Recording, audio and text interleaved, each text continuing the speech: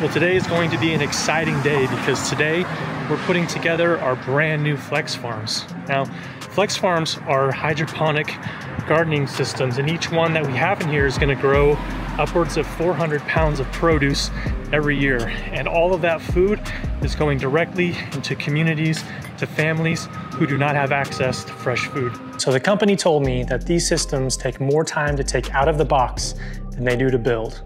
Let's put that to the test. So why do we care so much about fresh produce? Well, the truth is the lack of fresh food is one of the leading contributors to food deserts across the United States. It's also one of the most challenging items for people who struggle with food insecurity to actually get. Without the right kinds of food and nutrition, it can lead to a whole host of health issues. And so that's why we're so excited about these flex farms because the flex farms are going to allow us to grow an abundance of fresh produce to give to people who need it most.